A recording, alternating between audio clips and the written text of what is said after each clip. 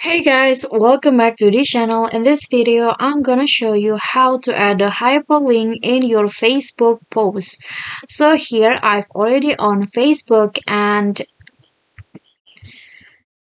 I want to add a new post with a hyperlink in it. So what you need to do is just click on the what's on your mind here. And let's say that I want to uh, add a hyperlink to this video to my tutorial video to my facebook post so what you guys need to do is copy the url and then go back to facebook and then you can just paste it in here Okay, so let's see the preview will show up in here of my tutorial video.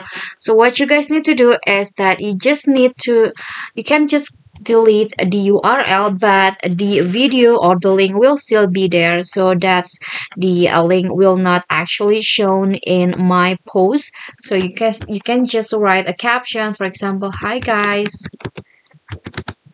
Mm, please watch my tutorial my CapCut tutorial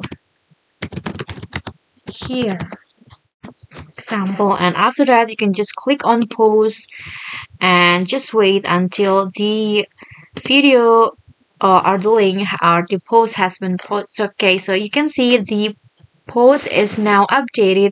And so when the people click on this uh, title on this or on this picture they will be directed to the link that you've added before in your facebook post Okay guys, so that's all for me. I hope this video will be helpful to you. Thank you guys so much for watching. If you enjoyed the video, please do click on the thumbs up icon. Don't forget to leave a comment and subscribe. I'll see you all in the next videos. Bye!